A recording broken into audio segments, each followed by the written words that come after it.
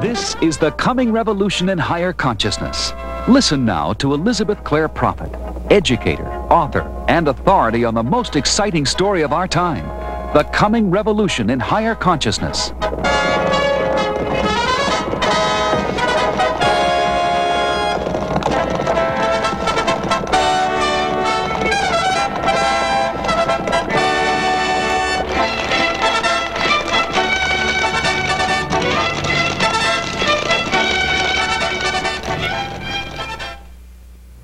I would read to you the prophecy of the Lord delivered through the prophet Joel. And it shall come to pass afterward that I will pour out my spirit upon all flesh, and your sons and your daughters shall prophesy. Your old men shall dream dreams, your young men shall see visions and also upon the servants and upon the handmaids in those days will I pour out my spirit. And I will show wonders in the heavens and in the earth, blood and fire and pillars of smoke. And the sun shall be turned into darkness, and the moon into blood, before the great and the terrible day of the Lord come. And it shall come to pass that whosoever shall call upon the name of the Lord shall be delivered. For in Mount Zion and in Jerusalem shall be deliverance, as the Lord hath said, and in the remnant whom the Lord shall call. The Mount Zion is the Zion, or the point of the mighty I am presence and that holy mountain of God as the spiritual presence is established by Saint Germain and the hosts of the Lord in this place prepared of America. New Jerusalem that comes down out of heaven represents the etheric city of light it is the sign of the golden city and the golden age come again. And those who are the called and the remnant are the seed of the universal Christ who have come to this planet in all ages and in all nations. And they have assembled in a great gathering for the fulfillment of the promises of God. And this is a land which is a base to be used by them for the healing of nations for the bringing of freedom to the earth, for the conquest of self and the demonstration of the law of Christ, right here in the heart, where I am that I am. This is the land of opportunity to return to the golden age. We, the people who gather here from all nations, or those who are here by birth, have an inner calling of light to see to it that our labor is a sacred labor, and that we recognize that our calling is to show forth the realization of God. This then is the point of the coming revolution in higher consciousness. This revolution has been brought by the power of the Lord Jesus Christ, by the power of his sending messengers and angels to us such as the beloved Saint Germain and the archangels, to return to us the lost word and the lost teaching that he gave in the beginning, as well as the new dispensations that are at hand in this hour of Aquarius. The new dispensation that is key to your life and mine is the awareness of the coming of the Lord our righteousness prophesied by Jeremiah who declares, Woe to the pastors who scatter and destroy the sheep of my pasture. Instead of the false pastors and the false priests and the false rabbis, there shall come the great minister, the great high priest of all, the holy Christ self, the individualized presence of the universal Christ for each and every one and the individualized presence of the I am that I am. The magnificence of this presence is that the tree of life is with the sons and daughters of God, and that the fruits of our causal body are intended to be for the healing of all nations. This people is a servant people. Those who would be greatest must become the servant of all. This nation must be a collective unity of hearts who recognize their mission is to serve to unfold the light of Christ in everyone upon this planet. Thus we come, pursuing as disciples of that living word the desire to take unto ourselves by the grace of God the mantle of shepherd. And the cry of the Lord is for leadership today, leadership that is centered in the rock of Christ. Isaiah says, The government shall be upon his shoulders. Upon the shoulders of your Christ self is the government of your household, your temple, your spirit, and your being. Begin at home. Charity begins at home. You must learn to govern yourself and to be that Christ in action before you can raise a hand and challenge the adversaries of the poor and the meek and the homeless and the widowed understand the meaning of claiming the light of God mastery. It is not to appear or to be great among men, but that you might become the servant of that light that is like the imprisoned lightning in the hearts of our people. It has not been unleashed to turn back the tide of darkness. This tide of darkness is oncoming at an accelerated rate. And therefore, in the midst of so great a light and a deliverance of light, we see that the darkness is moving swiftly.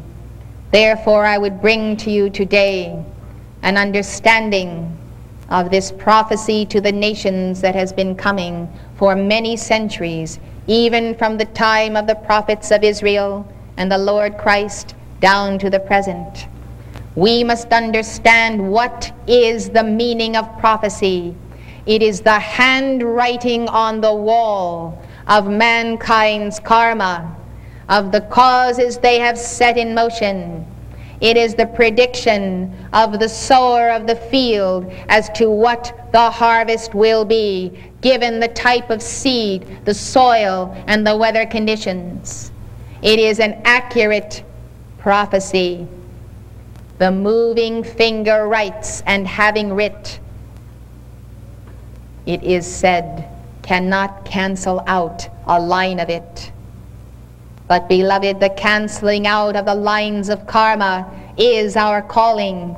Few understand it, and of those who understand it, fewer still, beloved have the determination and the dedication to hold the flame and to keep the vision day after day after day, that those who call upon the name of the Lord, I am that I am, will be saved. And those who do not exercise the power of the spoken word and recall the memory of the name of God, I am that I am, where will they appear? Where will they appear in the time of the descent of world karma? The handwriting on the wall decrees tremendous darkness in the earth at this time. There is no question about it. Every prophet that has ever given forth prophecy has said, This is the time of the harvest. This is the time of the vengeance of our God, when mankind who have not accepted the grace of the forgiveness of the Almighty and mended their ways, but continue to squander the light and make mockery of the very laws of God. They then must receive in the only way they will understand the teaching that as a man soweth, that shall he also reap. Thus, America and every nation today is about to reap this judgment of their own words and their own works. They have taken the period of grace that was bought for us by Jesus Christ. These 2,000 years, grace for the setting aside of our ancient karma for one purpose, that we might use these 2,000 years to internalize the Word and the Christ of Jesus. 2,000 years of embodiments on this path should have afforded us immediacy this day of our own personal Christhood. But what has happened? The false priests the false gurus have stripped from the teachings of Christianity in the very earliest centuries, the knowledge of the path of the internalization of the Word and the becoming of that light. They have Romanized Christianity and made of Jesus a flesh and blood God to be worshiped and they have never directed the attention of the people to the worship of the inner light of God, where I am that I am. And therefore, what has happened is a 2,000 year gap in what should have been a mighty spiritual progress on this planet throughout the nations. A false doctrine of Christ, labeled Christianity, has been carried throughout the world. Think if the true message had been proclaimed from the beginning, what might have been averted in this day. Now we are as sheep, shorn lambs, not having the full fire of our divinity to meet the oncoming darkness. Will God be mocked? Nay, he will not be mocked. The Lord God Almighty comes to us this day.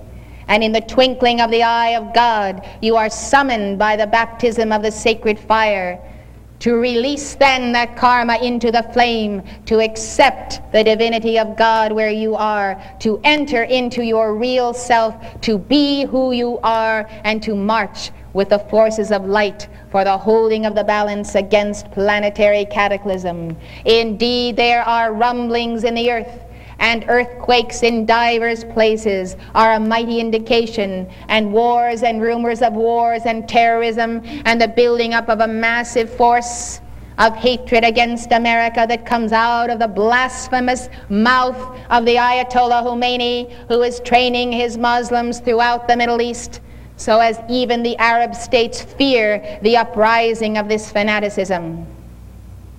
The handwriting is on the wall and I will bring you the notes of this prophecy. I say to you, the handwriting can be erased by a tremendous outpouring of the violet flame and of decrees to Archangel Michael and his legions. A year ago at Easter, Archangel Michael called me to deliver to you his rosary. It takes less than an hour to give. It contains powerful invocations and blanks where you put the inserts of the problems in society that are happening daily. This call has been given by us day after day after day with tremendous results of victories. We are so ardent in our dedication to Archangel Michael and his deliverance, to Almighty God through the hosts of heaven that we have placed upon our altar of the Holy Grail at Camelot, a giant globe that is lit so that we may stand and raise our hands and direct the light rays into any area of the world where there is a crisis or a serious condition. And then we put up our screen and we freeze frame situations in the news so that we can direct our presence, our light, our entire consciousness to the very streets of Seoul, Korea, or South Africa, or Ethiopia, or Nicaragua, or anywhere on earth where there is darkness and we give the violet flame and we give it by the hour, beloved. We give the calls to Archangel Michael by the hour, and we weary not in this service because we know it is the service of the remnant of the light bearers who are ascending to the sun. It is our calling, it is our dedication.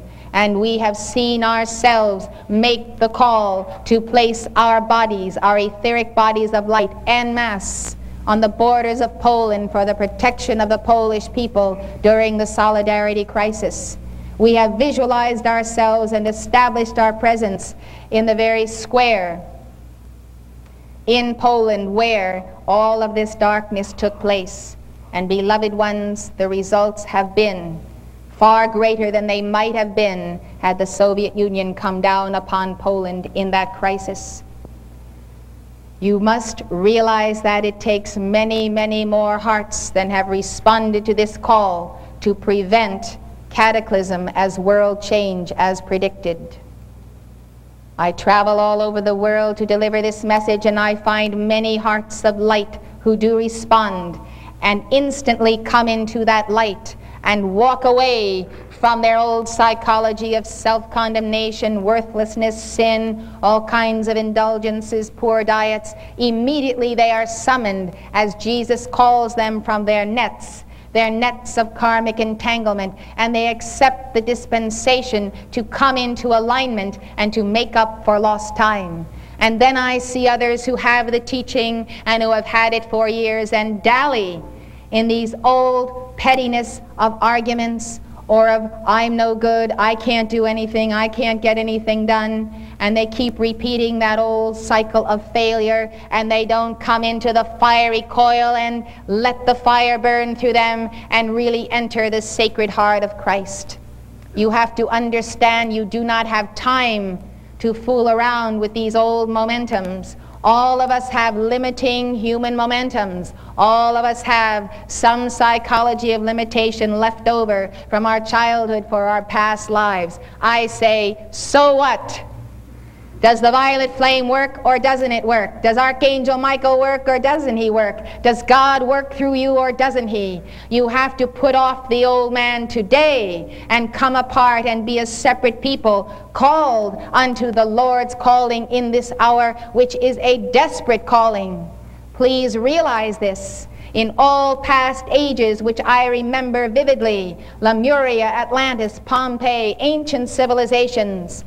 The destruction that came, came in one night, and those who were not prepared had no time to escape. Preparation for Noah's ark took 100 years. 100 years Noah was warning the people of the coming deluge. And they played and they dallied. And finally the hour came, and in the meantime they mocked and ridiculed Noah. They jeered at him and said, Where is this cataclysm you are predicting? And meanwhile he went on a building his ark. So you see, if a mighty people are to be saved by the light, they must be warned in advance of the sudden cataclysm that descends upon the body temple as a cancer, as a plague, as age, Suddenly in the night, one who was well is no longer well. And the shock factor of being told you have so many months to live is grave indeed.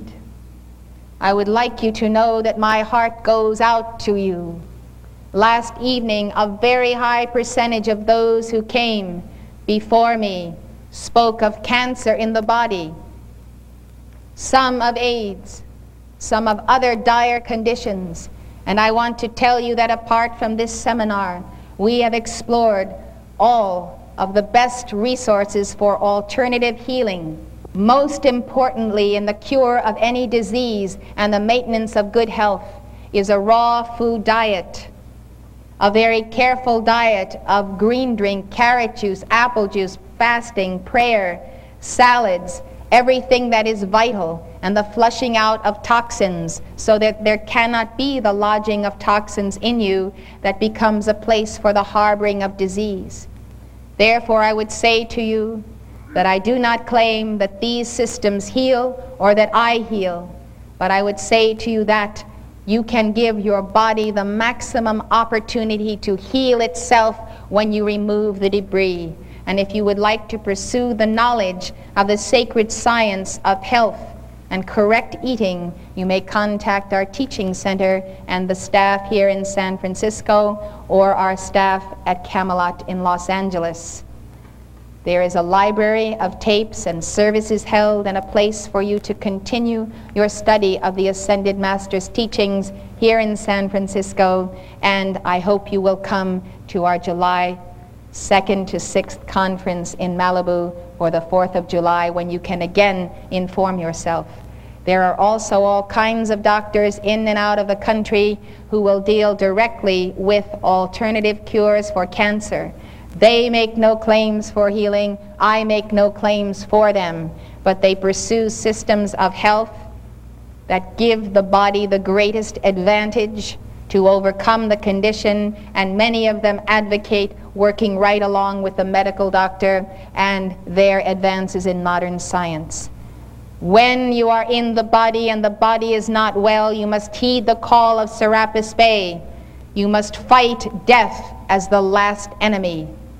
You must never concede and give in to the death of the body as the will of God. It is not the will of God. It is the will of man, your free will, ignorantly misused in the incorrect care of that body and in society's overlay of terrible food, such as the vast majority of Americans have today in the richest and most abundant economy of the world. And yet, people are not taught to choose life and not death in the foods that they eat. I wanted to say that to you because, aside from your coming to this altar, I receive calls from around the world every day. And many times it is when it is too late, when the advance of death and virus in the body has taken over. We must reverse the tide of this plague. It is one of those things that is the handwriting upon the wall that can be consumed by the violet flame. Do not give up the fight in your body. Do not concede one organ, one cell, one part of yourself to anything less than radiant health. And therefore, get off the excess weight because radioactive fallout and toxins lodge in the fat of your system. Marijuana lodges in the fat of the system. You have to get rid of it by a good diet, by cleansing and rebuilding, and you have to come into alignment so that your pores and cells are a grid of light through which the angels may pass through and the beings of God may deliver to the planet the light you invoke. Please do this. You are precious to God. You are worth something. When you overeat and you're in bad health and you ache all over, it's a sign you don't like yourself. You are punishing yourself for grievous things or sins imagined. This is the body of the Divine Mother that you wear. Do you love the Divine Mother? If you love her, tend her body that she has given to you.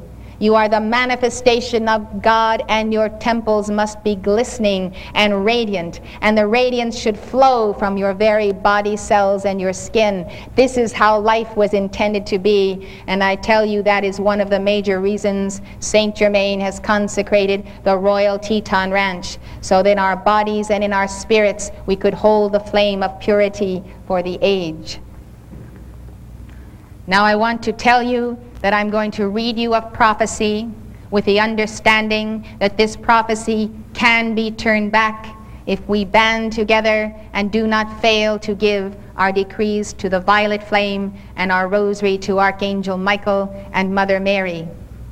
I will tell you that the prophecy will not be turned back unless embodied individuals decide to be the mediator, to intercede to be the point of Christ in embodiment that says, I will expand the sacred heart of my Lord where I am that I am, and I will defy the forces of this ancient karma, and I will say to them, Thus far and no farther they shall not pass. I command you, go into the flame of the Lord's all consuming fire this day.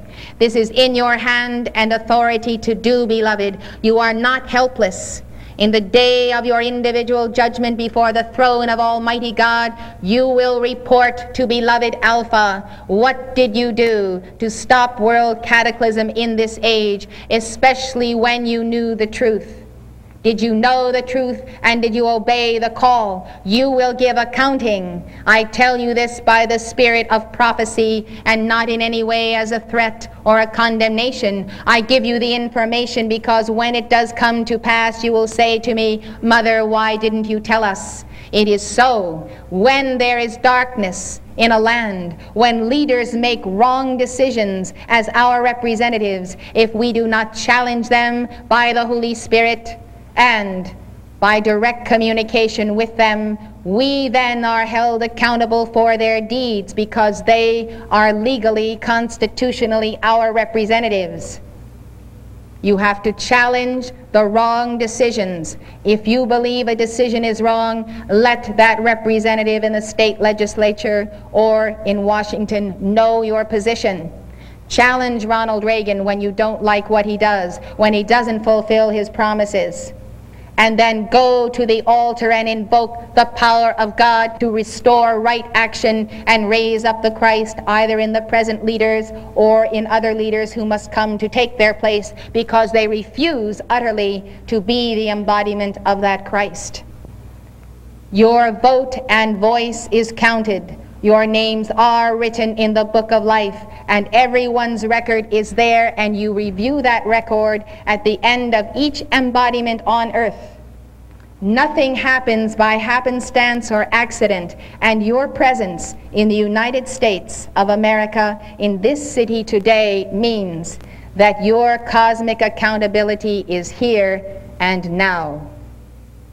Let us see then what these prophecies portend. I would like to begin with the Fatima prophecies. The retreat of Archangel Raphael, whose likeness is before you, is in the etheric octave over Fatima, Portugal. Therefore, at that place of the retreat of the Archangel Raphael, Mother Mary descended in 1917 with her message for this century.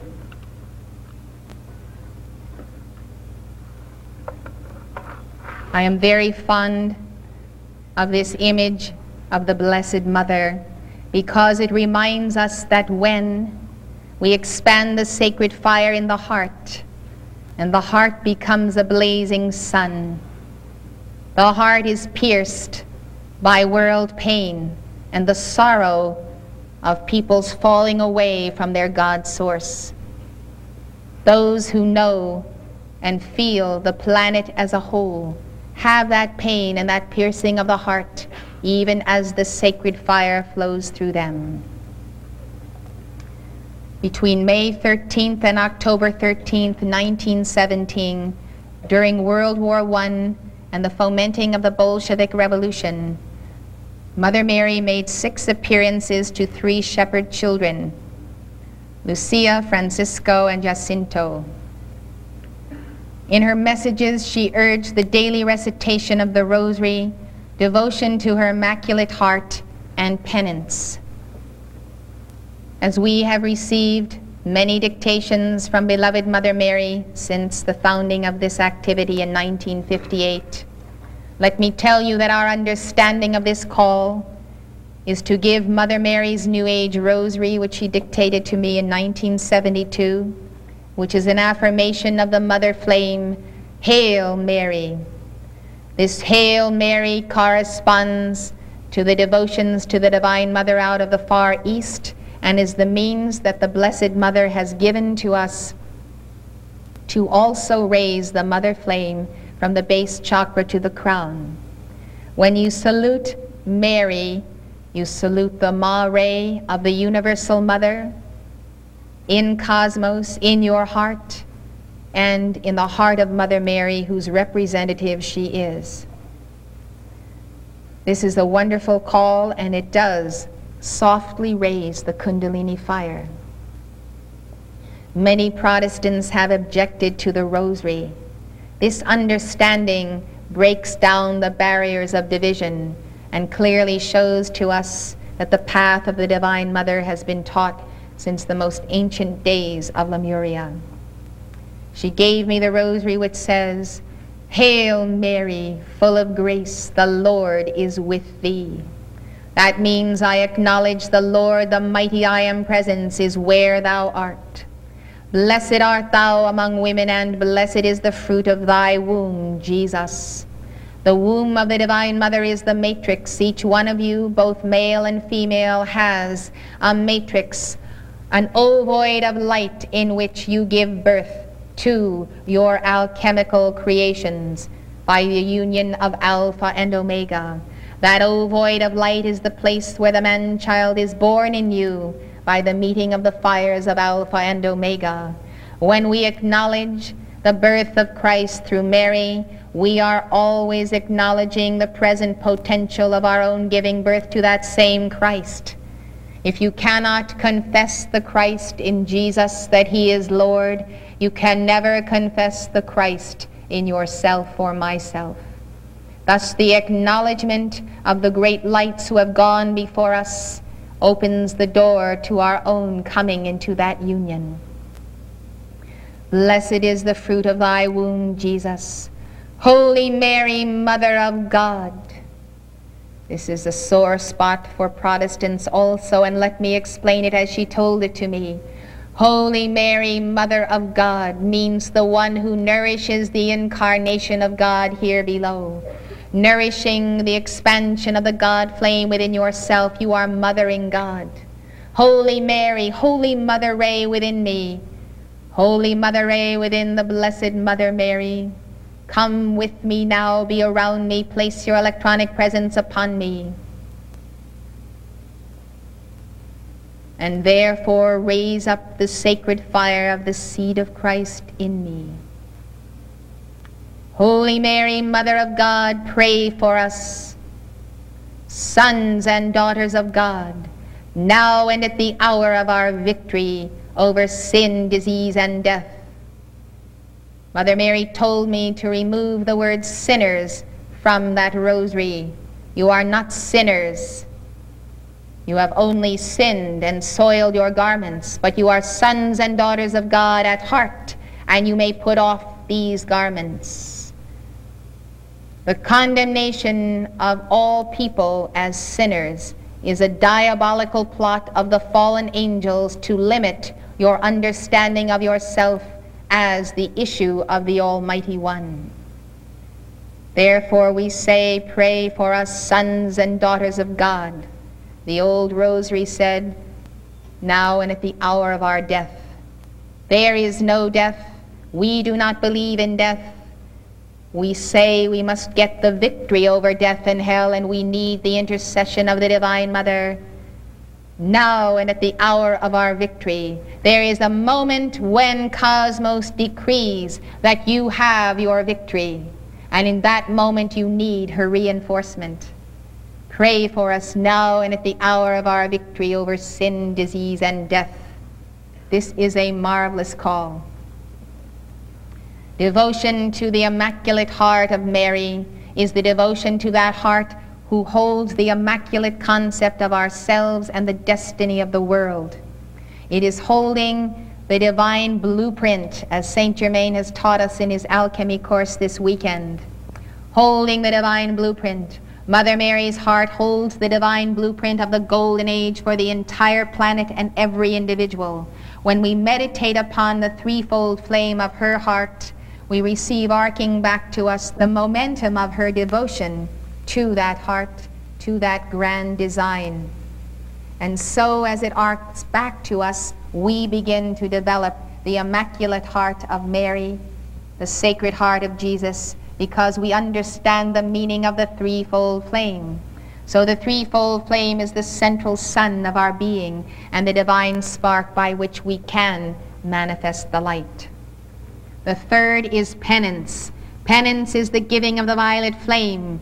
It is not only the forgiveness of sin, it is the transmutation of the cause, effect, record, and memory of the karma, the cause behind it. Now, these words came in Catholic terms to Catholic children, but we understand the message and we are keeping her command. On her third visit on July 13th, she warned if people do as I shall ask, many souls will be converted and there will be peace. If people do not cease offending God, another and more terrible war will begin. Unfortunately, the offenses unto God have not ceased in this century, but they have accelerated and increased in our own United States, let alone the other nations. She said, When you shall see a night illumined by an unknown light, know that this is the great sign from God, that the chastisement of the world for its many transgressions is at hand. To prevent this, I shall come to ask for the consecration of Russia to my immaculate heart and the communion of reparation on the first Saturdays. If my requests are heard, Russia will be converted and there will be peace.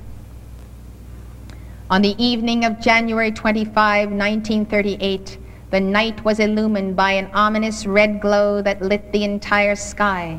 It lasted for five hours and was seen throughout Europe, America, Asia, and Africa, explained by scientists as an extraordinary manifestation of the aurora borealis. However, it came on the eve of World War II, and World War II did descend. What has happened concerning the consecration of Russia is that the consecration of Russia exactly according to her direction never took place. Various popes made various blessings, but as it was told to be done, it has never been done to this hour.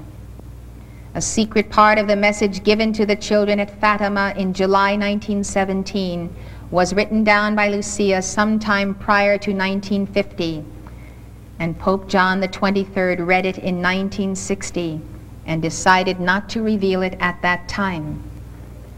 A German newspaper printed an extract of this message, Neues Europa. And so it printed the following, purported to be the content of that message.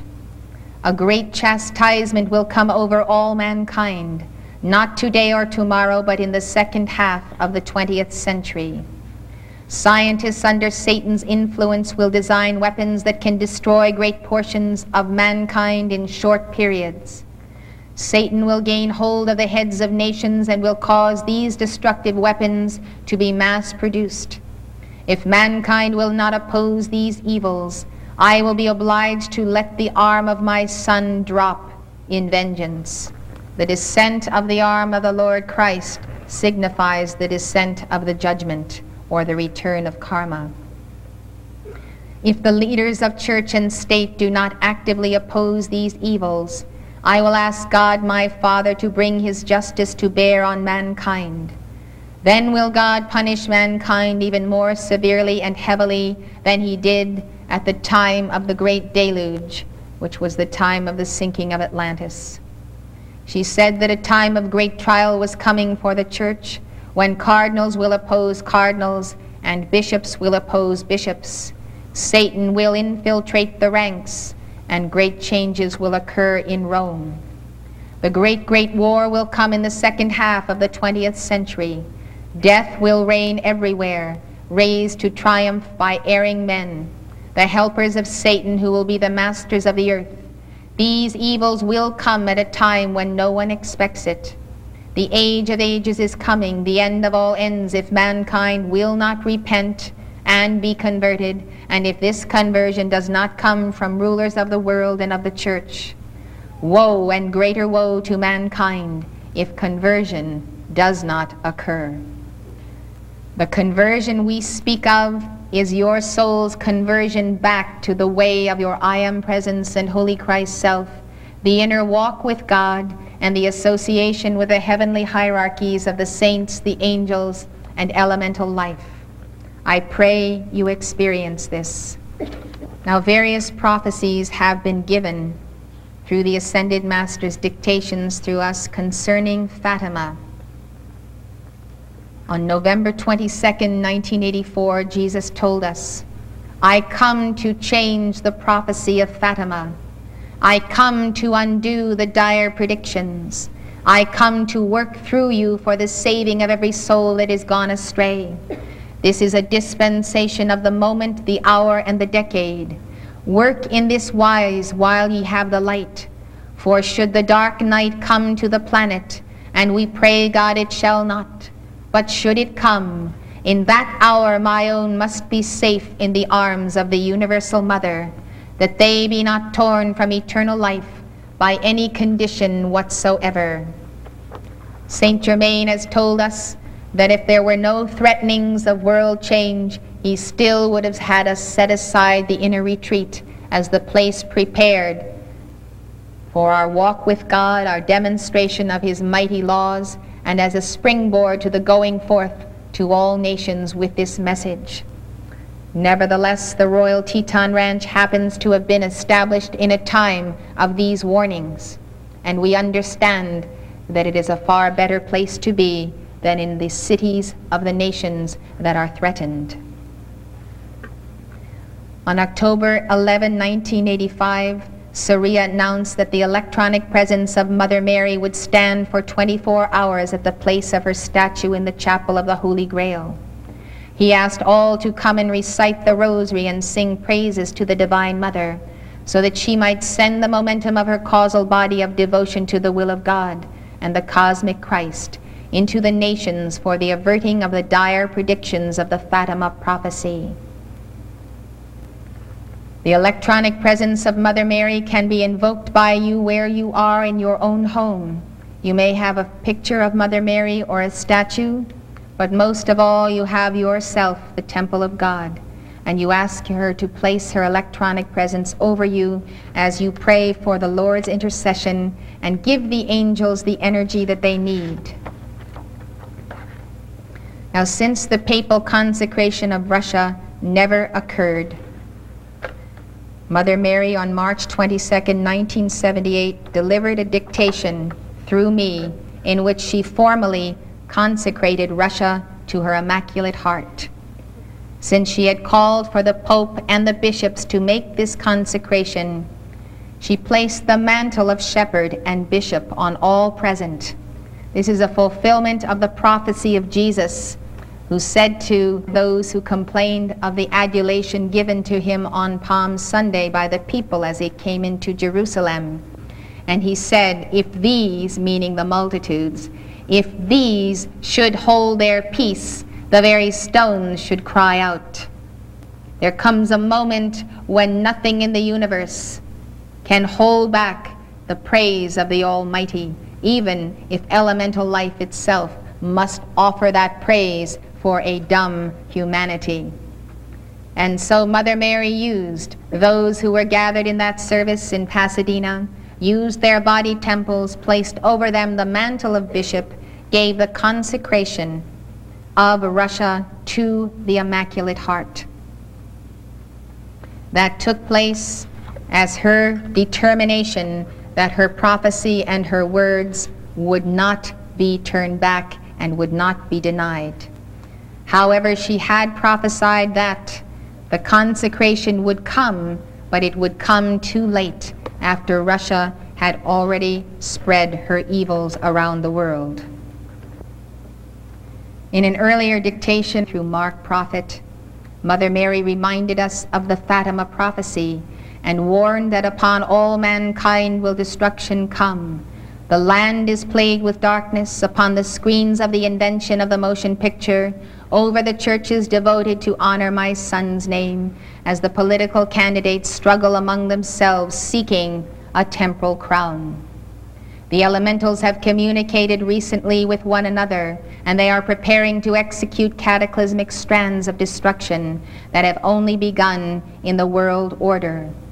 This shall come to pass unless the teachings of God shall be fulfilled in the hearts of many men and women presently totally dedicated to their own selves without understanding of the great needs of humanity.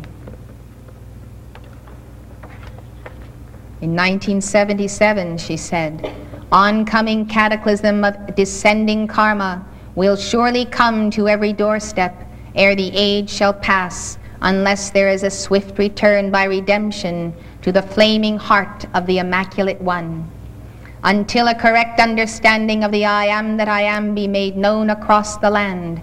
Governments will fall, economies will crumble, churches will come to ruin, darkness will cover the land, famine will be present, and souls will be lost.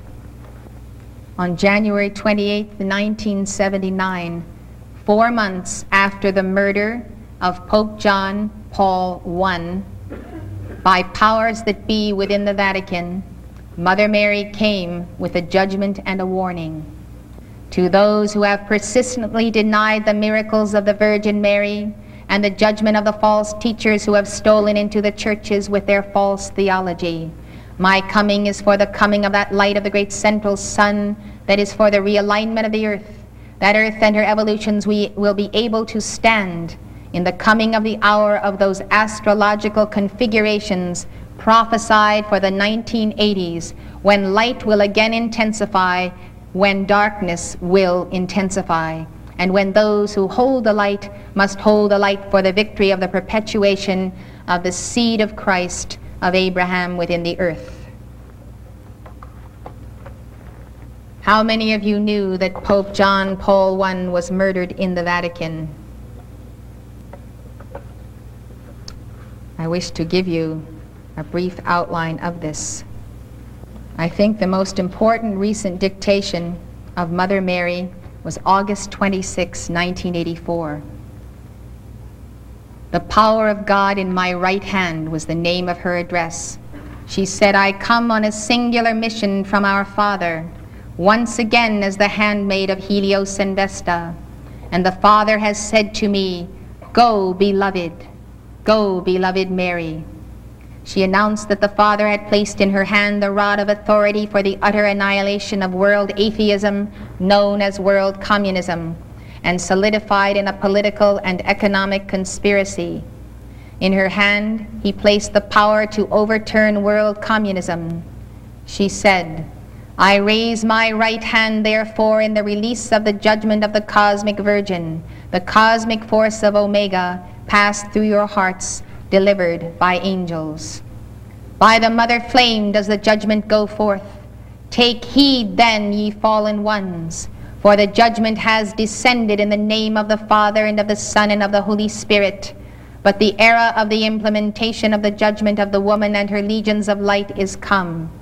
And this is the sign and the trembling in the cup of the judgment in the physical octave, such has not been seen before.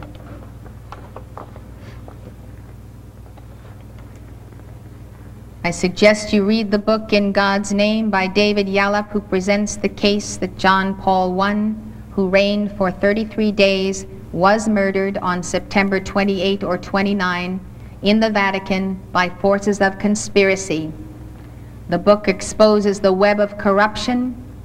He says that they conspired to eliminate the new pope because he threatened their financial and political operations with his dream of a poor church for the poor. Six individuals were involved in this conspiracy, which also involved the banking scandals surrounding the Catholic Church. And so it came to pass that the day he died, Pope John Paul I who was one of the greatest modern saints living, as far as my estimation is concerned, had advised the Cardinal Villot that Bishop Marcinkus was to be removed the next day from his position as president of the Vatican Bank. The Vatican ties with Calvi's Banco Ambrosiano were to be cut. Cardinal Cody and Villot himself were to be replaced, as were several other clerics.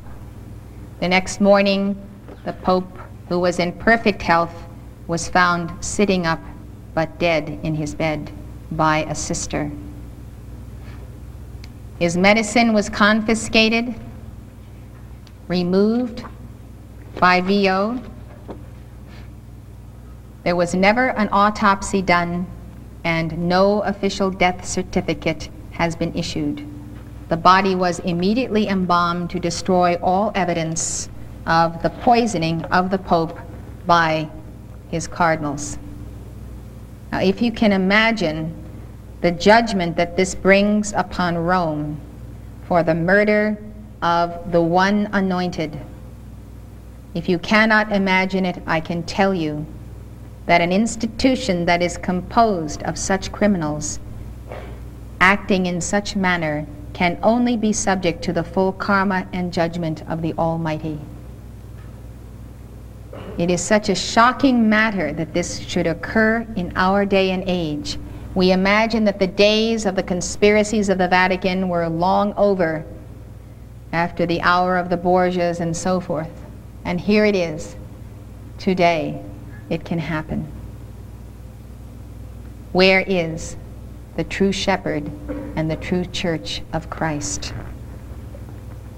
Today, the Pope has launched an attack against fundamentalist Christians and New Age movements. He is concerned not so much about what they teach, but that they are drawing Catholics from his church. He wants to know why they are drawing Catholics away. The Pope has declared war on these religions and the so-called cults. He who should be the champion of the inner walk with God and our freedom to pursue it in the universal church. Now, Nostradamus' prophecy is very vital to our time. The theme of his prophecies are major, major global warfare. As you know, he lived in France. He was an astrologer and a doctor between 1503 and 1566. This is Fatima, before we leave the subject of Mother Mary. The power of Jesus predicted by Mother Mary in the descent of the right hand of the Son. We invoke the electronic presence in the very heart of the Vatican for the admission and the expose of the banking and murder scandals that have surrounded it. We also call to Archangel Michael for the cutting free of the light bearers. Now I believe that the spirit of prophecy that was a upon Nostradamus did come to the heart of Saint Germain. There are many accuracies that have been seen in the outplaying of history that have already come to pass.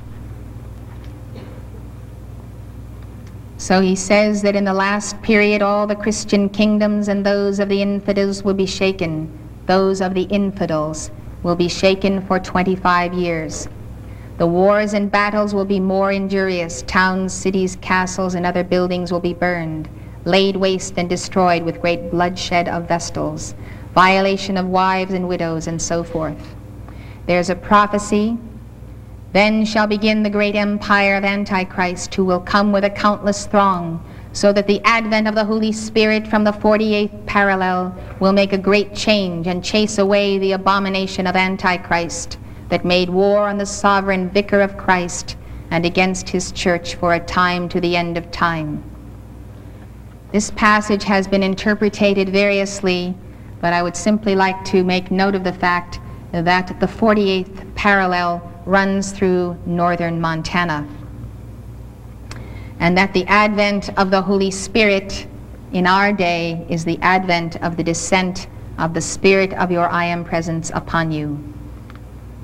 So the interpretation is that this war will start in the Middle East, be followed by the appearance of the third Antichrist, that the Soviet Union will form an alliance with the West, that the far and Middle East will retaliate supported by nuclear, bacteriological, chemical arsenals from China, that major conventional battles of World War III will likely take place in Europe. Some say that all of these events will be realized by the year 2023, that Europe will be attacked and laid waste, sinking in wreckage and blood.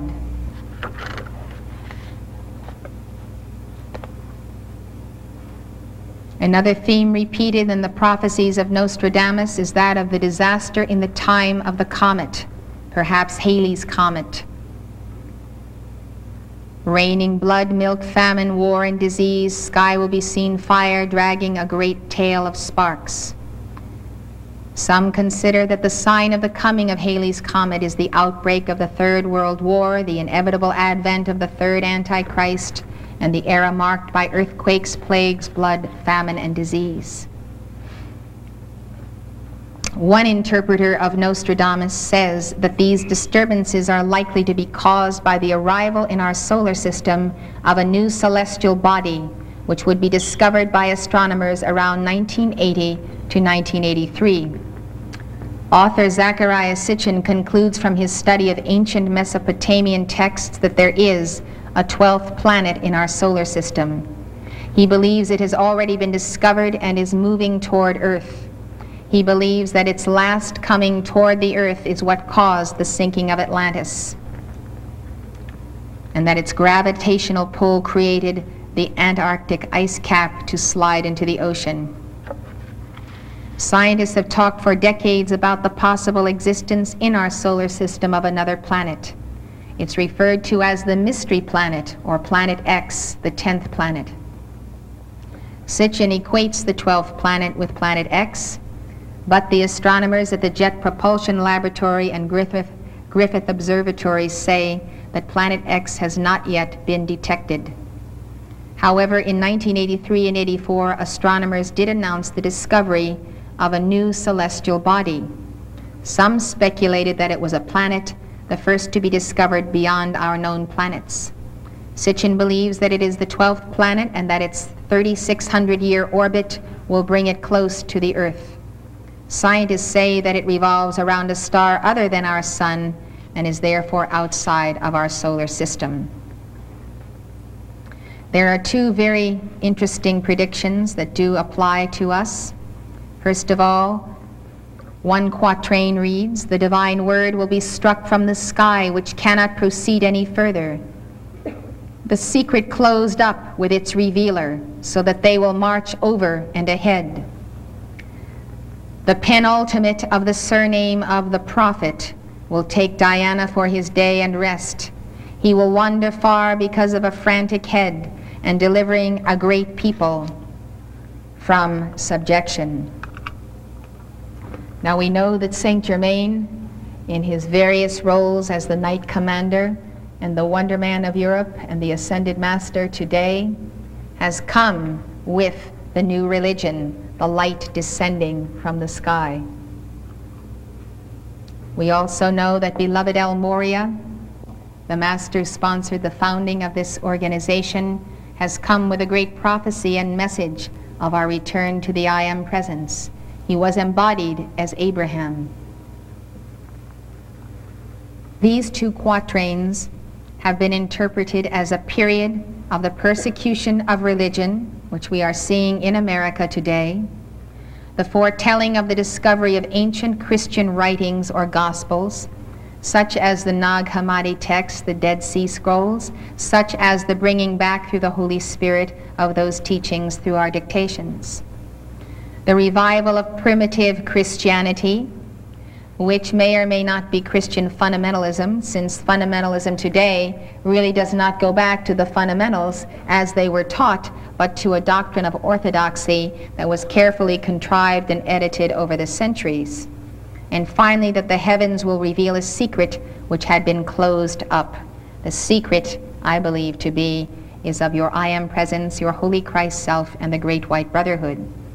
I believe the revival of primitive Christianity is the revival of this inner walk with God and the knowledge of the path of personal Christhood, such as Jesus is giving to us. This is the only true form of Christianity. The second quatrain is proven ambiguous to scholars. Penultimate is defined as the next to the last. It has also been translated as the last but one. Some interpreters see this leader as Mohammed. Diana is interpreted as the moon, the day of the moon, or Monday. The frantic head of the prophet is like the ancient prophets of Israel were de depicted foaming at the mouth with their prophecies and the zeal and the fire of the Lord through them, a frenziedness or a madness. And so this prophet whoever he is, comes to save a great nation from subjection. From my personal subjective viewpoint, I can see my deliverance and the deliverance of this nation through the teachings that were brought by Mark Prophet, my late husband, who is ascended. He took his ascension in 1973. The interesting puzzle about the penultimate if being defined as next to the last is that there are a number of prophets in this family. I myself bear the name. The son of Mark and myself, Sean Prophet, bears the name. Sean Prophet's son, Christopher Lyle Prophet, who is now a month old, also bears the name. So it remains to be seen who will be the next to the last prophet. So I think this is a very curious prediction, and I hope you will indulge me a bit as I think of it in these terms. I have no objection to the fact of your disagreeing with me or having your own interpretations of Nostradamus. Now, in the light of these scandals of the Vatican and the betrayal of the, sh the shepherd's crook of the Vicar of Christ in the Vatican, I think you would be interested in hearing Nostradamus' prophecy on the Vatican. They indicate there is a strong possibility that either the Vatican or the papacy itself will cease to exist within the next two decades. Nostradamus envisions the actual death of the Pope or his spiritual death and departure from Rome. When the tomb of the great Roman is found, a new pope will be elected the following day. He will not be approved of by the Senate, his blood poisoned in the sacred chalice. He who shall have the government of the great cloak will be led toward execution in several cases. The twelve red ones will come in to spoil the cover. Beneath murder, murder will be done. Elected as pope, he will be mocked by the chosen, Curia, suddenly and unexpectedly removed, prompt and timid, caused to die through too much goodness and kindness. He will fear for the guard killed on the night of his death. So, why are these things foreknown and predestined? It is because of the same handwriting on the wall and the calculations and foreknowledge that in these various cases it is also seen that mankind do not rise up and challenge this conspiracy. I have no doubt that these circumstances could have been averted each and every one, but the people were stripped of the knowledge of the rod of power, of their I am presence and the spoken word. They did not have the courage to challenge the cardinals of Rome. And today's Pope does not have the courage, as far as I know, to expose and challenge and put down the entire web of treachery and intrigue, some of those who plotted the death of Pope John Paul I are still in the Vatican. I cannot believe that the present Pope is uninformed or illiterate and that does not know of this conspiracy. And therefore, he does not take a stand for the people, though he represents the people. This causes my heart great, great sorrow. I would like to tell you that there are many prophecies I could bring to your attention this morning. I will go over them briefly. For instance, Djwhal Khul made a prophecy of the inner retreat. He talked of the location being in the high mountainous area. He gave considerable, considerable words on this in his last dispensation, not through this activity. He talked of a preparatory school by the sea, which is Camelot, and then the inner retreat in the high mountains for initiates. We believe that the inner retreat is the fulfillment of Djwhal Khul's prophecy. We see the coming of Halley's Comet as the pronouncement of judgment upon tyrants. We have seen tyrants fall, such as the Marcoses, such as the heads of Haiti. We have seen other things come to pass that have to do with the comet. The theory has been put forth that comets bring disease. There have been earlier comets such as Kohoutek and IRAS Araki Alcock, and it is theorized that with these comets come microorganisms, viruses, and certain debris whereby the plagues are seeded in the earth. It's one explanation of how the plagues descend upon mankind in the last days. I think that Halley's Comet is definitely a sign of the fall of tyrants who abuse the power and the money and the will of the people. I think we have to reinforce God's judgment of the wolves in sheep's clothing who would turn the nations to the side of death and war and destruction. There is a prophet, if you would call him, who came out of the Soviet Union, a Czechoslovakian major general by the name of Jan Sejna. He came out in February 1968 and the highest ranking communist ever to defect. He says and says to the present time, as we have spoken to him repeatedly, that since 1965, a nuclear first strike surprise attack on the United States has been the keystone in the Soviet military master plan. This plan includes the crippling of the United States with 120 nuclear warheads and accepting the total surrender of Western Europe. People do not want to believe this today. This man affirms that it is true. He says the plan is, and it's in writing, and he has seen the plans, that if Europe doesn't surrender, with the United States defeat, the Soviet troops will mop up Western Europe after the initial advance assault by East German, Czech, and Polish troops. Might as well show you the Star of the Hero by Nicholas Roerich so you can see these prophecies that come under the comet. The Star of the Hero.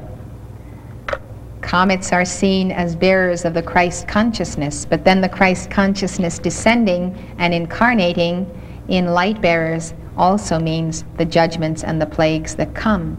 With Christ always comes the judgment, which is the separation of the real from the unreal. So the prophet out of the Soviet Union tells us that they would take technology from Western Europe and grain from Brazil and Argentina he says as long as the United States can retaliate with long-range nuclear weapons, the Soviet Union will not consider a first strike, which is why Star Wars is so frightening to them. He has recently said that he firmly believes that the interference with Challenger and other attempts to put our rockets in back into orbit the four failures we've experienced in the past year are by the Soviet, the Soviet sabotage. He is convinced that their prime motive is to stop the United States in space. In all of the reporting that I have seen throughout the media, I have never seen one comment as to the possibility of sabotage being the cause of these disasters. You would think it would be at least something that would pass through people's minds, even though it might not be true at all. But no one wants to even raise the issue of why suddenly these disasters are happening. He said it is their prime concern to stop Star, War Star Wars and that they are actively building their own Star Wars technology and that they are very afraid that they can't keep up with us even if they steal technology. Detente with the West is their key weapon for world domination. He says that the Soviets would never intervene if the United States were to invade Nicaragua, kick out the Sandinistas, support the freedom fighters. He says they would never go to war over Cuba or Nicaragua. Now his position, his political position is that the United States should not allow the continual mounting of ba bases and the capacity to deliver nuclear warheads upon our soil, allowing ourselves to be ringed in in the Caribbean, Central America, and then the already in position submarines who are right in position off the east and west coast of our country, ready, ready to deliver nuclear warheads at any time they should decide. He believes this should be challenged and it should be driven back and that we should preserve our freedom by protecting our borders. Now, that is his opinion. You may have your own and I may have mine. I simply think it's very interesting to see what a top-ranking military man who has been on the inside of the Soviet Union for years and years has to say about the way they look at the configuration of the world today. Now, I would like to tell you about the dark cycle of mankind's karma, the descent of karma on the planet, and I would like to have the blackboard brought in. This particular prophecy concerns the pouring out of the vials of the seven last plagues. This painting was drawn by an artist according to Archangel Michael's direction. The dark cycle of mankind's karma, I wish to explain to you. And I wish to show you how it appears on the charting of the cosmic clock, which we reviewed yesterday afternoon. The ascended masters, together with their unascended chelas or disciples, have been working for centuries to stand between mankind and their returning karma and these days that are prophesied. In the 1960s, the tremendous aggravation of hostilities in the Middle East between the Arabs and the Jews brought great portend for the coming of World War III if these should escalate and involve the superpowers.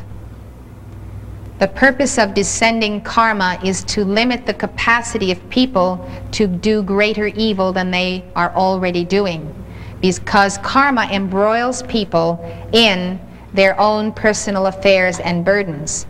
So the pouring out of these vials by the seven archangels that is prophesied in Revelation is actually a time when there is a limitation and a curb put upon the free and unrestrained misuse of the light of God. Great deliberation went on between the hierarchies, the cosmic council, a body known as the Lords of Karma, and the ascended masters as to what might be done to postpone this day of the dark cycle, which once unleashed could not be stopped until it was fully spent. Gautama Buddha, the Lord Jesus Christ, other great cosmic beings came forward to intercede. And finally, the word was given that unless these hostilities should stop in the Middle East, the dark cycle would begin January 18, 1969. Gautama Buddha gave his life for the setting aside of that date and pleading again for mercy to the evolutions of Earth. The hostilities continued with neither side relenting or showing any determination to be fair about the Palestinian question or about the resolving of these mounting issues that have erupted today in world terrorism through a body of people who have no other voice through which to reach the world than through acts of terrorism. It is a terrible thing that a group of people who have been dispossessed of their land should have no means to communicate to the world body as to their cause, and now must be in a period of extreme fanaticism to murder and kill in order to make their point. What happened then is that concerning other areas of the world also where people were misusing the light of the economies of nations, crimes on a large scale, it was decreed then by the Logos, by the universal Christ, that the dark cycle would begin on April 23rd, 1969. At that moment, the return of mankind's karma on a planetary and personal scale descended with a vengeance, which means with God's justice, with intensity, and since that hour, we have seen the mounting of disease, plague, famine, war, problems in the economy, and the four horsemen whose footbeats I can hear as I stand at the altar in prayer. The knowledge of charting the dark cycle is very important to us because we then understand where we stand. So I want you to see it on the cosmic clock and therefore know what is happening. Now this is 423 69. The inception of the dark cycle then is on the 12 o'clock line.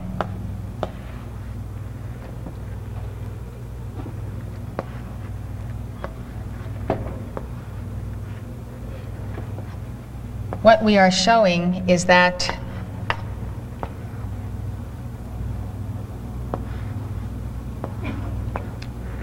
the, the dark cycle goes in progressions. And if you can calculate where that dark cycle is, you can understand what kind of planetary karma and personal karma we are handling. The first year of the dark cycle was under Capricorn. There descended upon the planet the karma for people's misuse of the power of God and of the crown chakra. Now, if you could trace all the events in that year, you would see how they would correlate to that kind of returning karma. Now, the teaching I'm giving you is related to the chart I gave you yesterday afternoon. Following this information, you can refer once again to the decree on the cosmic clock, which is in the mantra booklet, if you have the page for that. Now, on April April 23rd, 1969. The one o'clock line occurs on that same date in 1970. Here then, mankind have the return of their misuses of the sacred fire under the hierarchy of Aquarius on the one o'clock line of God love affecting the soul chakra. These lists of qualities and their hierarchs and perversions are found on page 19 of that booklet you're holding. So you can remember 1970, what may have come into your life, and realize that this was a part of the returning of the last plagues. So you go to 71 on the 2 o'clock line, 73, 74, 75, 76,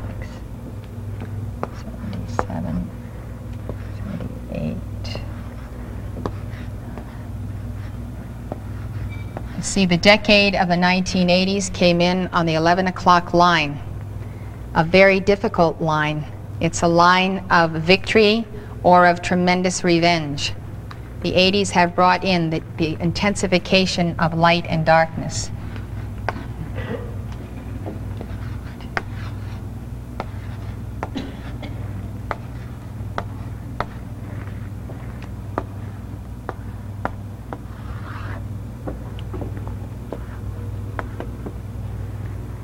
On April 23, 1986, the dark cycle entered the line of Gemini, the 5 o'clock line, which is corresponding on a pole with Sagittarius.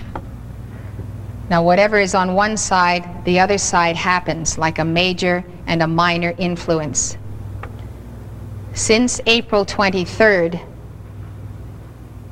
1986, we have seen one after another, almost daily, disasters and burdens upon us.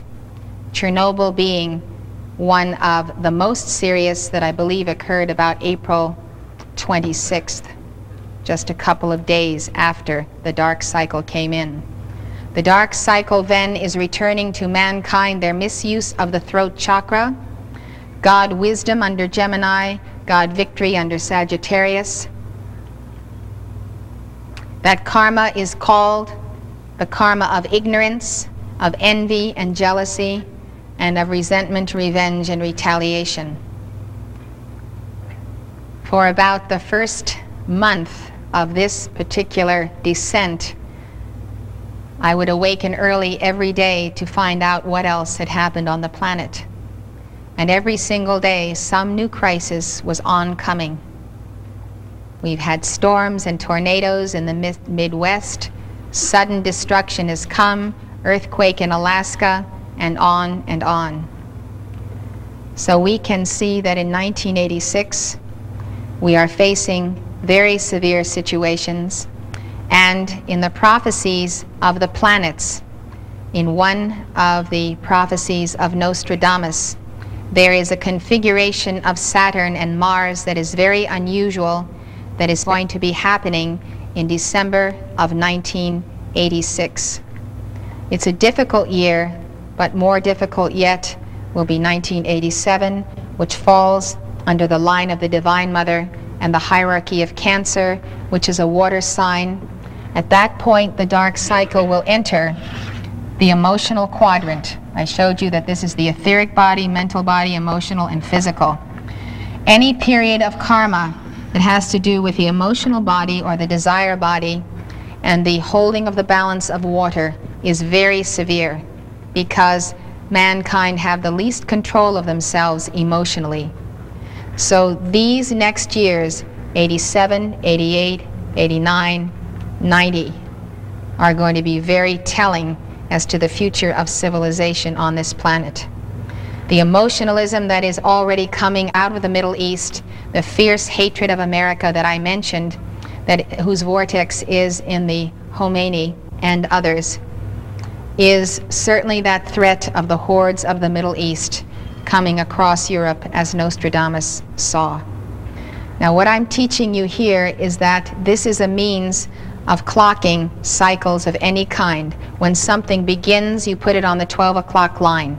You can mark it by days, day one, day two, day three. You can mark it by months. As I explained to you, within the year of the Gemini cycle, there are only also 12 lines of the clock. So the first month of the dark cycle is always Capricorn. So that would be April 23rd to May 23rd. Between May 23rd and June 23rd, which is where we are right now, we are handling the planetary return of karma under the sign of Aquarius. That means all forces of anti-love. So now you will understand where your personal and planetary karma is coming in under the dark cycle in this year and month. Thank you. We can re remove the board now.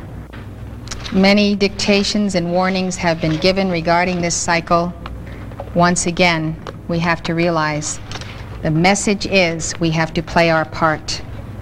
There have been many individual prophecies that have been fulfilled, that have been delivered through us such as of coming earthquake, potential presidential assassinations, um, definitely the judgment upon the nations who legalize and support abortion. 19 million abortions have been performed in the United States since Roe versus Wade came down in 73.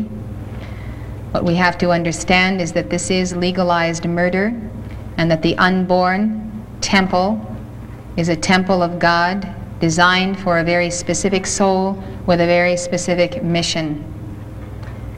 Abortion has become a means of birth control. There are many, many good means of birth control. We do not have to resort to the murder of our offspring to exercise that right and that privilege to decide when we are going to bring forth children. The Brotherhood has said through Jesus, through Archangel Uriel, through Mother Mary, that the nations who continue the practice of abortion will reap an enormous karma, and that karma has already begun upon our own nation. We are very vulnerable to outside attack against our nation because of the sin within our nation. This has nothing to do with the freedom of woman or man to exercise their free will. It has to do with the responsibility that we are co-creators with God, that that body is more than a body. It is the house of God. It is being prepared.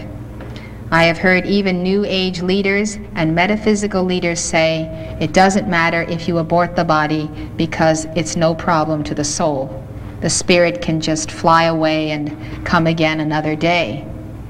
Well, how would you like it if somebody said that about your body? Today, how about euthanasia? How about the right of the state to determine at any time that your relatives may decide that you no longer have a real reason for living? The destruction of your body is the effective removal of your spirit from the scene of world karma from the place where you must fulfill your destiny and serve in this age. 19 million souls have had to either try over again and over again. Many of them have been aborted four and five times. Some of them have come into embodiment. Many of them have never come into embodiment. And so we have aborted our national purpose and our destiny by failing to receive these little ones who have knocked at the door of birth and been, been denied entrance. Not to mention the enormous suffering experienced by that child when it is aborted. In some states, it can be aborted right through the ninth month of pregnancy. Now, this has become a great, great burden, has divided many of us uh, along political lines, pro and con. I say that the light bearers of the world should not be divided. If you are convinced that abortion should be legalized for all the reasons that uh, people say it should, I am not going to make you my enemy and say we, therefore, cannot work together for world freedom. You have a right to your views. I give you the teaching on the subject. May you deliberate it in your hearts. We will fall to the right and the left of many issues. We should not allow the plot of divide and conquer to splinter us and fragment us so that we are in little separatist groups because one believes in this way and one believes in another way. One eats this, one eats that, one doesn't eat it, and so forth. These things must be set aside as we center ourselves in God, and hopefully, when we awaken one day in His likeness, we will agree on most things. I personally cannot fail to make my plea for the unborn fiery spirits and souls, because in this age God has assigned many light bearers to embody for our own deliverance and assistance. This is one of the major reasons the Royal Teton Ranch has been set aside, so that families dedicated to bringing forth souls of light could have a place to educate them in our Montessori school, educate them toward the unfolding of their inner potential and the light they bring from past lives. Thank you for your patience in hearing me out on some of these concerns of my heart on the coming world events.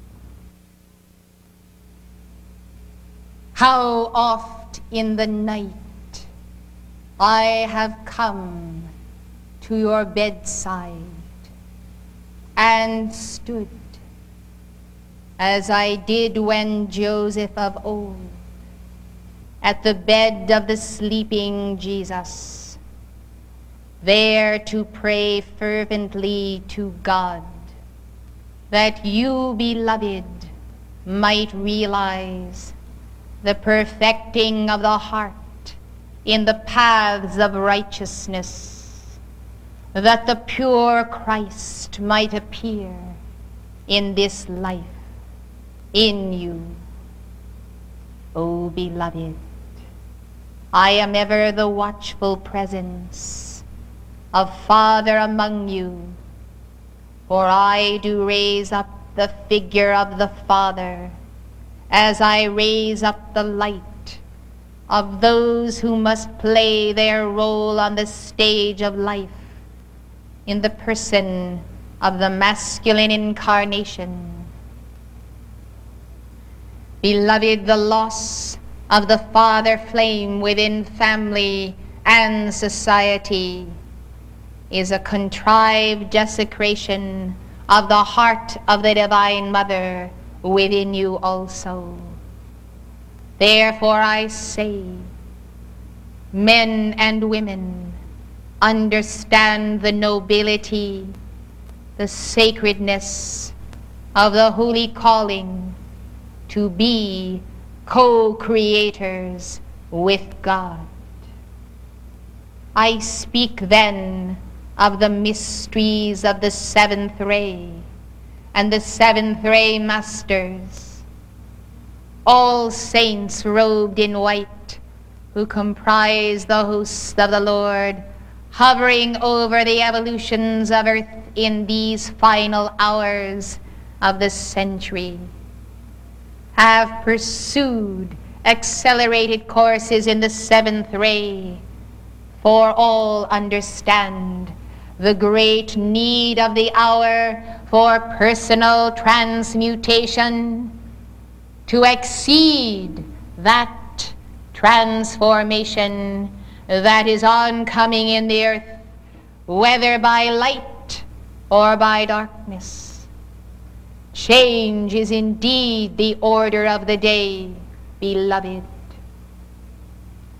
And the winds of Aquarius do bring profound change, stripping from souls and body temples, excess trappings and adornments until the individual is forced to look at himself in the cosmic mirror and say, is this what I am? Or is there something more of me which I have not discovered. Beloved hearts, change then has been decreed from the beginning by the spirals of the great central sun. That wave of light has descended.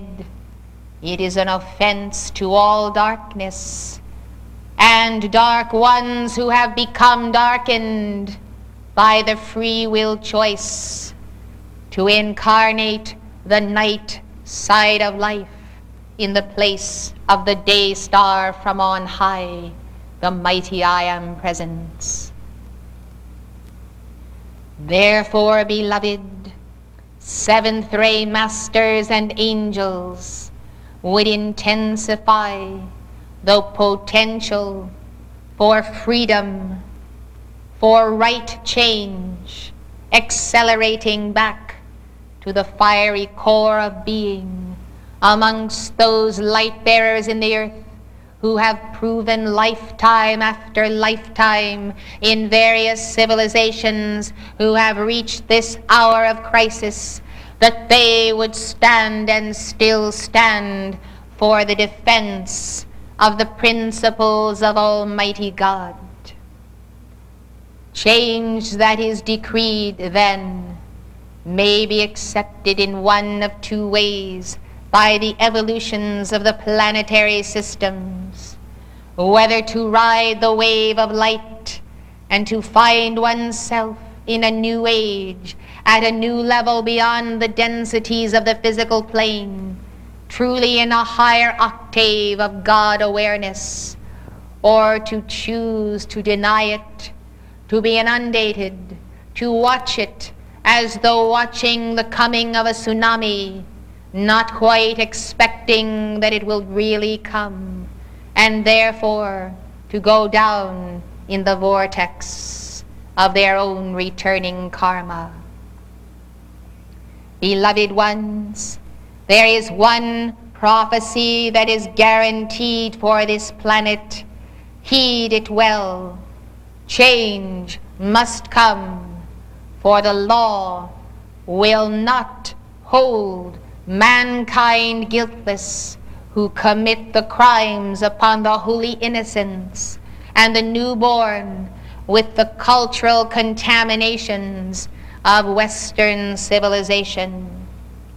Blessed hearts, the day will come when the great law which none of us in the ascended state will be able to turn back, will say by the right hand of God to all those forces in the earth who have perpetrated and perpetuated the lie, thus far and no farther, the full accountability of your destroying of the souls of these little ones must be upon you.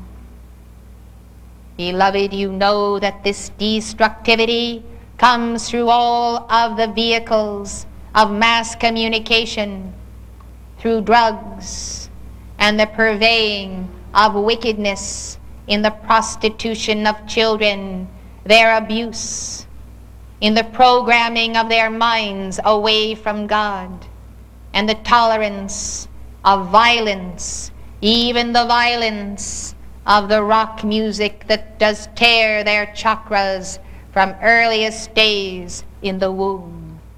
These assaults upon that life who is God in this new generation must come to the end. And this end, beloved, must be decreed by you.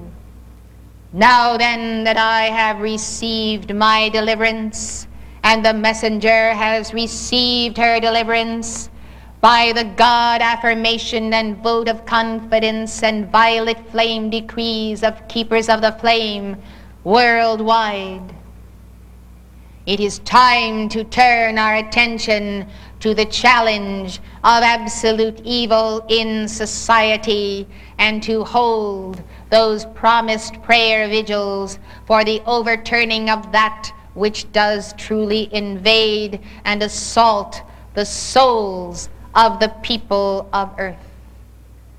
Then, beloved, having so opened the channels to heaven, that the angels of God may descend and ascend as in Jacob's dream, that they might enter the fray and rescue the light bearers and bring to judgment those who truly in their wickedness are accelerating oncoming earth cataclysm, we shall see just how great the dispensation of light can be for the earnest, committed intercession of the keepers of the flame in their dedicated prayer vigils. Beloved ones, let this July conference at Camelot be a prayer vigil unto the nations for the binding of forces that would catapult this earth into war and nuclear disaster, and for the challenging of the last plagues and all who stand as the dweller in the threshold, preventing the people from those cures of light and the natural cures that are owing to them. I speak of the pollution that is dire in the medical profession, the backwardness, the intrigue, and the treachery that does put upon the bodies of this people drugs that actually interfere with the genetic strain of the race. Beloved ones, do not be guinea pigs in your mind, your body, your soul, your spirit for anyone or anything. Be your own man and your own woman of the new age, and you will find me and my beloved Portia espousing your cause and teaching you because you have chosen to think independently and not to believe everything you are told or everything that you read as the programming of this North American society. Beloved hearts, I take you now apart from the grid of mass mechanization that has befallen this beloved country. Come with me as I accelerate your consciousness into the etheric octave. We shall rest above North America and we shall understand the meaning of the mighty blue eagle that is in fact the configuration of blue lightning angels who are in the charge of that god Surya, that ancient one of India who does sit in the seat of the central sun of Sirius. Beloved ones, there are cosmic legions of light, and your own Christ Jesus told you. Think you not that I cannot in this hour summon twelve legions of angels from my Father to deliver me from this fate? But the Lord Christ did not. He chose the hour of the crucifixion to show you that the powers that be in this world will always see to it that the emergent Christed one is persecuted to the level of the crucifixion. It is a false hierarchy imitation of the true initiation of the cosmic cross of white fire, whereby you are fastened in the heart of the cosmic Christ, and the lines of force, as above, so below, are one. He said, and I say to you, as they have done it to me, so they will do it to you. The servant is not greater than his Lord. Understand that anyone who declares himself a disciple on the path of personal Christhood and dares to affirm every day I am becoming more of my Christ in every way who dares say yes when confronted, Art thou the Christ? Yea, the I am that I am in me is the Christ. And to the challenger, and the I am that I am of you is also the Christ. Anyone who shall so be free to speak in joy as well as into the teeth of the very challenge of Antichrist must know that those forces of absolute evil entrenched upon this planetary body in the person of embodied fallen angels are those who have the most to lose and nothing to gain by your Christhood. Do not accept them do not expect them to line the streets with hosannas on the day of your coming forth. Beloved ones, they only wait when the tumult dies to find some manner to trap and conspire to the death of the one who dares to be the incarnation of the Word. And that one in this hour of Aquarius and this is indeed the mystery of Aquarius that I proclaim to you, and my messenger has proclaimed to you. That in that hour, not the one, but the many shall become the one incarnate Word, and the mystical body of God upon earth, composed of numberless numbers of saints, shall be the force and the presence in the heart of the earth to overturn the entire world capitalist communist conspiracy against the light bearers of every nation.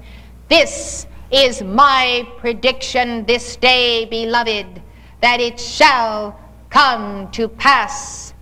But I tell you, this prediction can only be fulfilled by God in you by your free will and determination.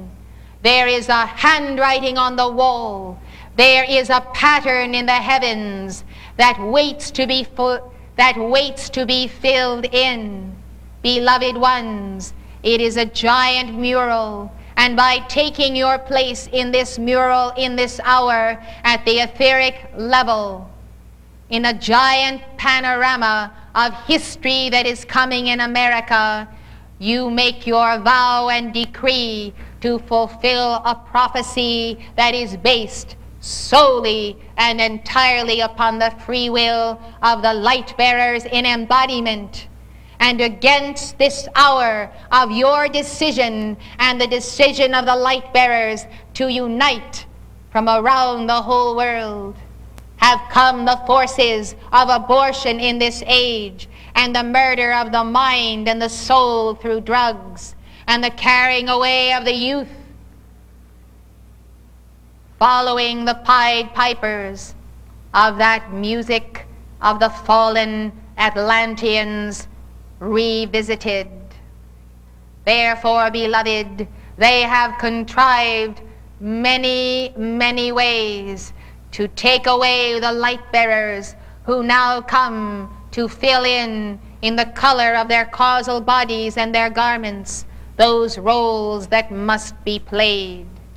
They can be defeated one and all. Holy families understanding the reality of the Father, Mother God embodying in them may go to the mountains, may bring forth children, and may raise them to bring forth the inner light. I am Joseph, and I do sponsor again the opportunity for you to recognize the calling to open the gates, open the gates of your temple to these souls of light who truly come to love you, to help you, to stand by you where you stand and still stand and toil and become weary, to take up your plow, to take up your implements of service and work side by side with you in the maintaining of a community of light that will one day be seen as the example of a pre-Golden Age community and souls who are marching to the sun. Thus, beloved, the decree has gone forth. Change is upon you. Look now upon North America from these heights of the etheric plane. See those who are burdened in their bodies, who suffer, and the very burdening of the bodies has made them almost lifeless, complacent, spineless. They do not have this physical strength or the physical fire to rise up and challenge the oppressors that come at every hand to take their farms, take their land, take their money, and manipulate every area of their lives.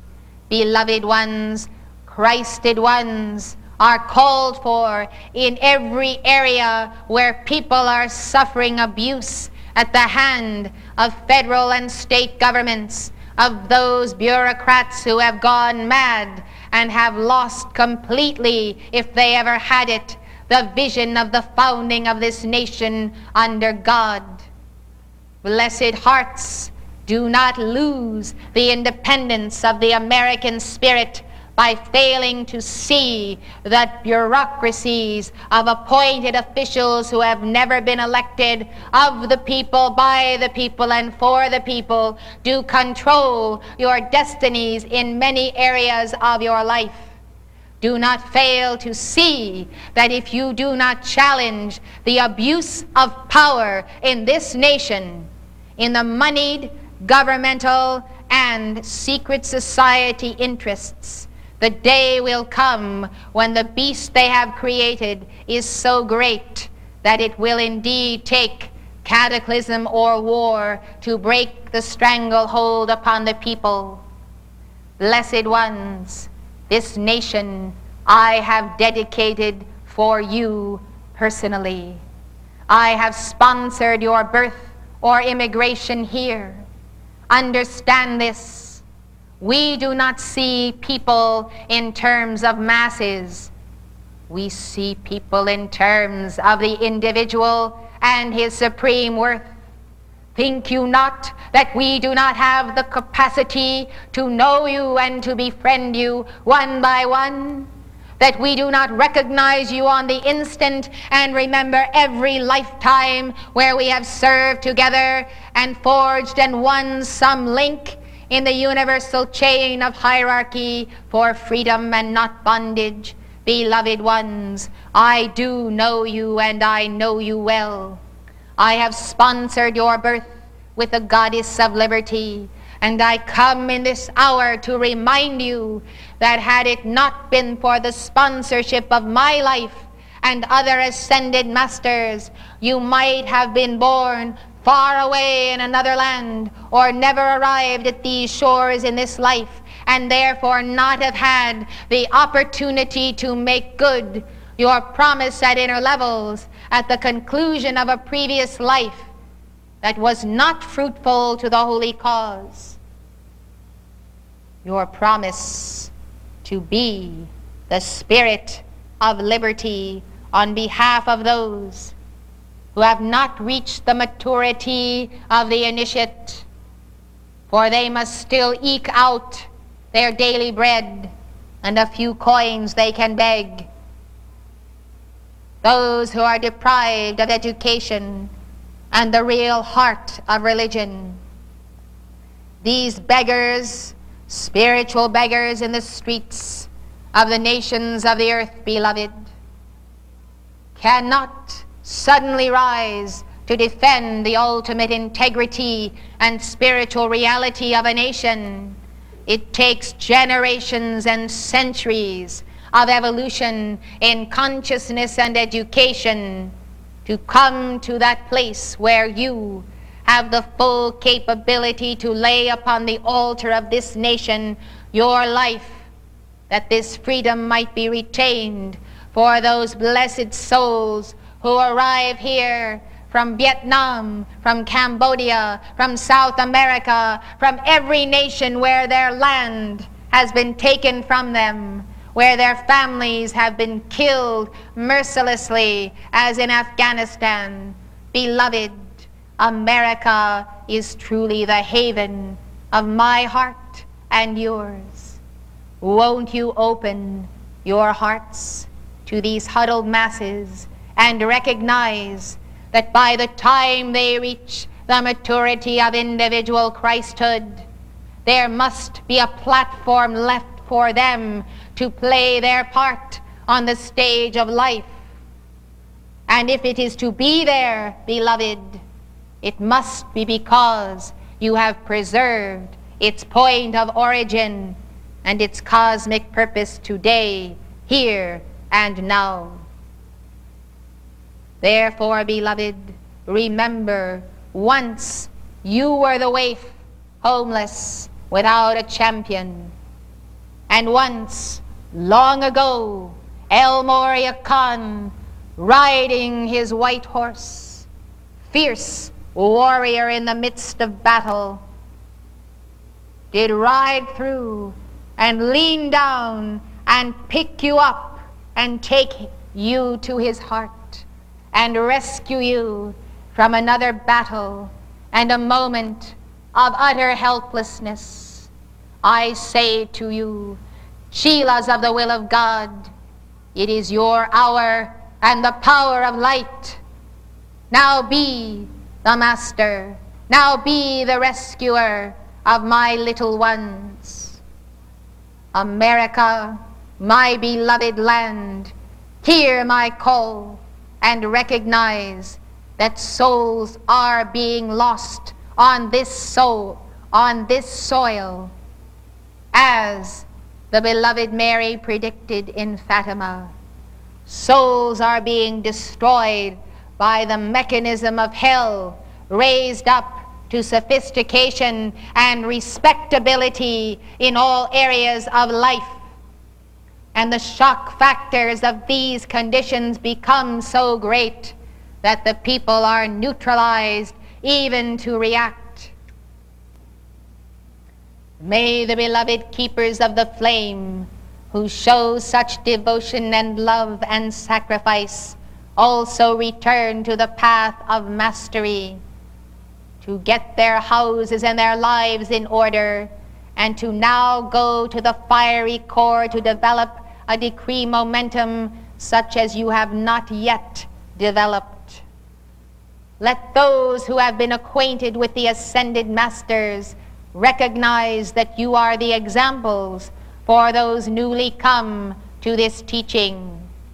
If you do not show forth the fruits of our presence, who will convince and by what means that the ascended masters are real and that their presence is the power to change life into the God estate. You have an accountability when you call yourself a keeper of the flame of life, a champion of the goddess of liberty. And your accountability is to spread the joy of this communion and the great cooperative venture of the ascended masters of the great white brotherhood and their unascended chelas. Thus, get thee up to the mountain. I speak to the mountain of God and your mighty I am presence. What use is the saving of the flesh and blood temple? We seek the saving of the immortal spirit. And when you have ascended to the plane of your mighty I am presence, because you have determined to leave the morass of this lower astral consciousness, you will find yourself desiring also the physical mountain of God, not to run and hide for safety, but to go and be the arms of Christ outstretched, welcoming my own who need understanding and soul nourishment and a place prepared in these hours of turning darkness. Beloved ones, Many have been reached by the knowledge of my name and my presence and this call. I am gratified by many who have initiated spirals of light, who have increased the violet flame and therefore alleviated the load of planetary suffering. But beloved hearts, I am also disappointed and in the zeal of the Lord as I point to those who have known the word and my presence and my power and have forsaken it for their own spiritual pride, their intellectual arguments and connivances, all a ruse, for they would dodge the necessary step of the surrender of that carnal mind. Thus I rebuke those who know better and who have not done better, those who have already made the choice not only to forsake their calling, beloved ones, but to take this very teaching spoken from the altars of heaven and to elect to enter the left-handed path with it glorifying their egos and their psychic thraldom and their consorting with spirits of a lower order. All of this they do yet in my name, beloved, and in the name of the new dispensation of the new age. Many have wandered far from the center of the I am presence. And when they do so, beloved, it is always the sign that the soul seeks self-gain and will not bend the knee before her own Christ and her own Lord. Those who desire to be entertained and flattered by supposed messages concerning past lives or wondrous accomplishments may sit in their circles and fiddle with these psychic entities while the nation burns, while it is covered with warfare, and proclaim peace and peace, while the radioactive fallout falls upon their head as a cloud of unknowingness and base ignorance. Oh, beloved, how can any true light bearer neglect so great a salvation? I tell you, beloved, that those who behave in this manner also have a long history of consorting with the magic of fallen angels. They have been entertained by their baubles and trinkets and promises and offers of an easy way out of the karmic burden for centuries. Their course was also predictable Yet God has seen fit to give all, both the tares and the wheat, the opportunity to come into the light. and even the tare may receive the engrafted word and a threefold flame and begin anew the odyssey of the path of initiation, where every weakness will be tested and every strength will be tested. And the more furious in the sense of accelerated sacred fire with which the initiate approaches this course of testings, the greater the progress, the more accelerated will be the victory. There is no time preordained for your path. The cycles are shortened for the elect who do the will of God. The only condition is the spacing of the absorption of light that is wise and for your good health spiritually and physically. For the body's atoms cannot adjust too quickly to the greater and greater light. Therefore, in the meantime, you can yet serve and give the teaching while your bodies are being adjusted and stepped up for a larger calling and service. Remember, beloved, when you make the decision to step into the political arena, into the public eye, to represent the people, you must have passed certain initiations whereby there is removed from you the propensity of ambition, pride, competition, and anger. When these have been thoroughly excised from you, you will find yourselves able to stand against those powers of Antichrist who desire to see no light bearer hold any office in any way representative of the people, whether in education or in a representative government. Precious, precious are the feet of those who have made their way to my heart this day. I pray for you fervently, especially in the hour of supper, of subtle temptation, which you may not recognize because you slip into it so easily as an old pattern of the procrastination of the day of your God mastery. I pray that you lose not the time or the hour, for the clock is ticking away the sands of opportunity. Blessed ones, may you step in to the great panorama of destiny.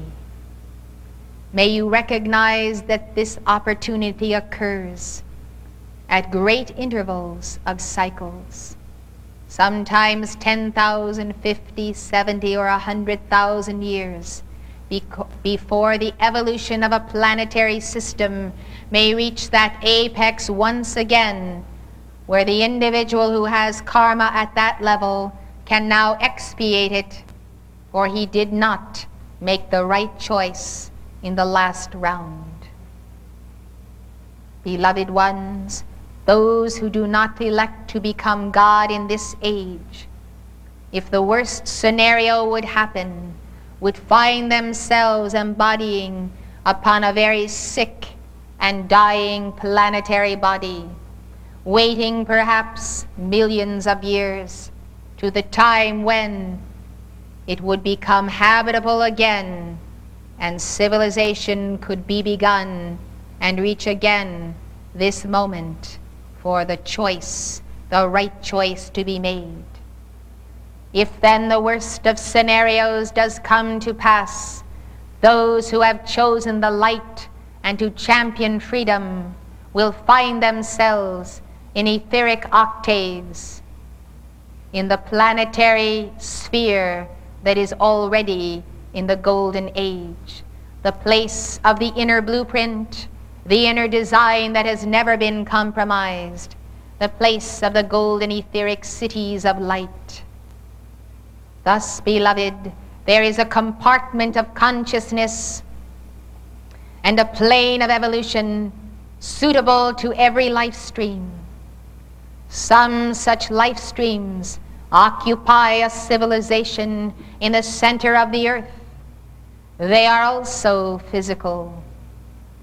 Thus, there are layered spheres ranging from the physical to the astral to the mental to the etheric. And in these many levels of earth and heavenly worlds abide millions of evolving souls, all of whom understand that the greatest challenge of all faced by any of these evolutions today is that being faced by you who are in physical embodiment in this wavelength. For you will determine whether the light will descend from etheric octaves to make the golden age physical, or whether the darkness shall come up from beneath and inundate it, pushing the light back to higher octaves. The winning of the physical planet will then create a chain reaction for light throughout the systems of worlds. And the contrary would be the case if this physical level were lost. For Earth is a crossroads of many life waves, of many systems and other galaxies. All come due in this hour for the confrontation in the final karma of light and darkness. I have spoken to you out of the heart of liberty. I have shared with you my great desire to work with you. I invite you to become a part of the Keepers of the Flame fraternity, that I might truly be welcomed with others of the Darjeeling Council of Ascended Masters to stand at your side and sponsor your life, even as now you choose to sponsor the ascended masters, their teachings and activity on earth. To all I say then, I commend you to your highest purpose and destiny. I commend you to deliberate right choice and the right cause of action for the right reason and motive. I commend you to call upon the all-seeing eye of God, that the vision of the future coming out of the past might be seen and known, that the present might be for you a calculated platform of forward movement into the light. When all points of the grid of personal and planetary karma are known, and the graph may be seen, it will become clear to you at inner levels and through that all-seeing eye of God that there are few choices left to any upon earth that can bring about the deliverance of souls necessary. We are grateful that a company such as you of serious students does gather in this day when so many voices call you elsewhere. Portia and I express our gratitude that you have received us and our messenger.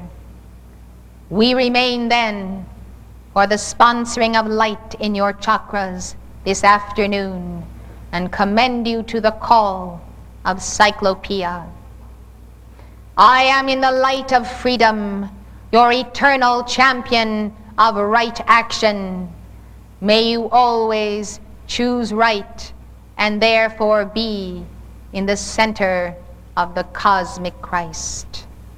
I salute you and bless you in the new age.